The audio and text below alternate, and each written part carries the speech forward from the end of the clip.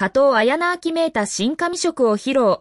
一気に肌が白く見える、夫の加藤茶も、いいね、と絶賛。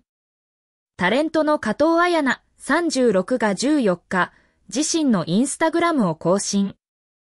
髪色を暗くし、夫のザ・ドリフターズの加藤茶81から褒められたと明かした。写真、結婚14周年を迎えた加藤綾菜と加藤茶インスタから。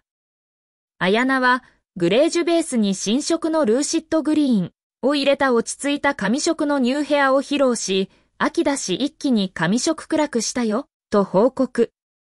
カラー変えるだけで一気に肌が白く見える加トちゃんに、いいね、と褒められた嬉ししい、と綴った。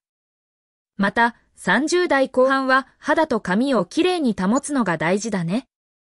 清潔感があるツヤがある女性が目標と続けた。フォロワーからは、めちゃめちゃ素敵、一瞬誰だかわからなかった。綺麗ですね、パッとミキーナさんかと思いました。やっぱりアンズさんに似てる。イメチェンですね、素敵似合ってますよ。とてもお似合いです。などの声が寄せられていた。